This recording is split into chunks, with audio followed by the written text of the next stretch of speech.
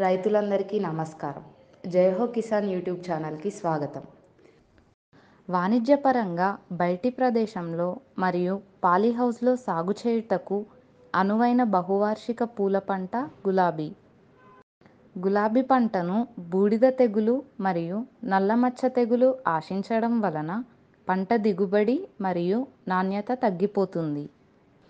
గులాబీ పంటను బూడిద తెగులు ఆశించినప్పుడు ఆకులపై బూడిద వంటి తెల్లటి పదార్థం ఏర్పడి ఆకులు ముడుచుకొని పోతాయి.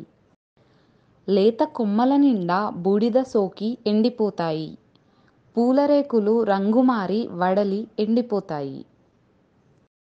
బూడిద తెగులు నివారణకు నీటిలో కరిగే గంధకం మూడు గ్రాములు లేదా కార్బండిజం ఒక గ్రాము లేదా హెగ్జాకొనజోల్ రెండు మిల్లీలీటర్లు లేదా రైనోక్యాప్ రెండు గ్రాములు లీటర్ నీటికి కలిపి పిచికారీ చేయాలి. నల్లమచ్చ తెగులు ఆశించినప్పుడు గుండ్రటి నల్లని మచ్చలు ఆకులకు రెండు పక్కలా వ్యాపించడం వల్ల ఆకులు రాలిపోతాయి. నల్లమచ్చ తెగులు నివారణకు బెనోమిల్ ఒక గ్రాము లేదా క్లోరోథలోనిల్ రెండు గ్రాములు లేదా ట్రెడిమాఫ్ రెండు గ్రాములు లేదా కార్బండిజం ఒక గ్రాము లీటర్ నీటికి కలిపి పిచికారీ చేసుకోవాలి. ఈ వీడియో మీకు నచ్చినట్లయితే లైక్ చేయండి షేర్ చేయండి మరియు మీ అభిప్రాయాన్ని కమెంట్ రూపంలో తెలియజేయండి. ఇలాంటి మరిన్ని వ్యవసాయ సలహాలు సూచనలు పొందడానికి జయహో కిసాన్ యూట్యూబ్ ఛానల్ని సబ్స్క్రైబ్ చేసుకోండి.